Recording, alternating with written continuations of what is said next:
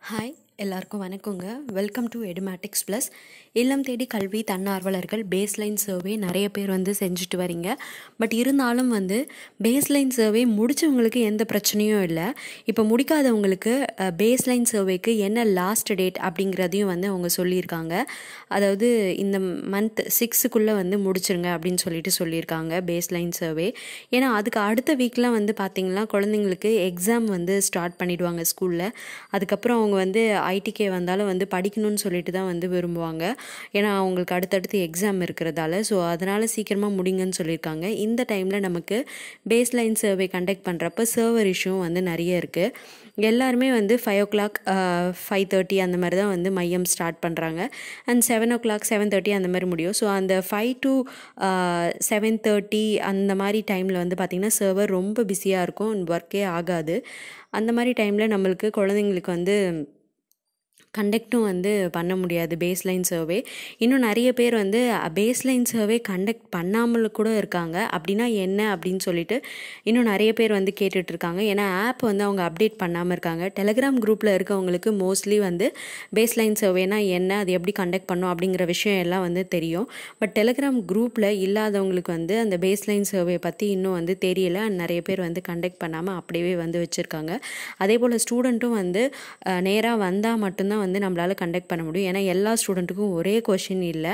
வேறு வேறு கொஷின் தான் வரும். ஸோ அதனால் ஃபஸ்ட்டு விஷயம் ஆப்பை வந்து அப்டேட் பண்ணுங்கள் ஆப்பை அப்டேட் பண்ணிவிட்டு உங்களுக்கு வந்து சர்வர் இஷ்யூஸ் நிறைய இருக்கும் ஃபைவ் டு செவன் அப்படிங்கிற டைமில் ஸோ அதனால் கொஞ்சம் முன்னாடியே உங்களால் கண்டக்ட் பண்ண முடியுதா அப்படின்னு சொல்லிட்டு பார்த்துக்கோங்க.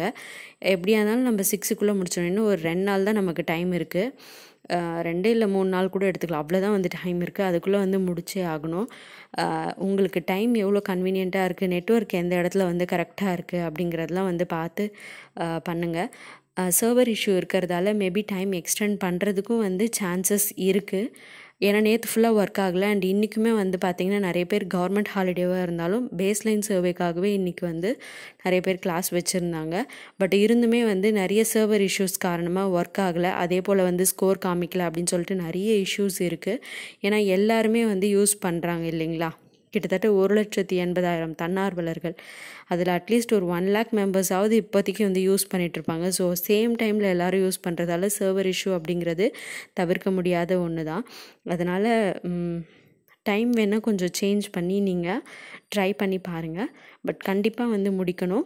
அப்போ தான் நம்மளுக்கு ஸ்டூடெண்ட் எந்த லெவலில் இருக்காங்க அப்படிங்கிறத நம்ம வந்து தெரிஞ்சுக்க முடியும். ஸோ அது மூலமாக நம்ம அடுத்த ஸ்டெப் அவங்களுக்கு வேறு என்ன சொல்லி கொடுக்கணுன்றதை வந்து நம்ம கண்டுபிடிக்க முடியும். அதே போல் நிறைய பேர் வந்து அந்த ஸ்டாண்டர்ட் கண்டக்ட் பண்ணிவிட்டு அடுத்த லெவல் வந்து விட்டுடுறாங்க. இப்போ ஃபிஃப்த்து ஸ்டாண்டர்ட் பிள்ளைக்கு வந்து கண்டக்ட் பண்ணுறாங்க அப்படின்னா அடுத்தது சிக்ஸ்த்துக்கு போனால் அந்த சிக்ஸ்த்தை கண்டக்ட் பண்ணாமல் விட்டுறாங்க இல்லை முன்னாடி ஃபோர்த்துக்கு போனால் அதை கண்டக்ட் பண்ணாமல் விட்டுறாங்க அந்த மாதிரியெல்லாம் விடக்கூடாது. ஒவ்வொரு ஒவ்வொரு ஸ்டூடெண்ட்டுக்குமே ரெண்டு ரெண்டு லெவல் வந்து கண்டக்ட் பண்ணுவோம் இப்போ ஃபிஃப்த்து அப்படின்னா ஃபிஃப்டி பர்சன்டேஜ்க்கு மேலே எடுத்திருந்தாங்கன்னா சிக்ஸ்த்து ஸ்டாண்டர்ட் போகும். அதையும் வந்து நம்ம கன்சிடர் பண்ணி கண்டக்ட் பண்ணணும்.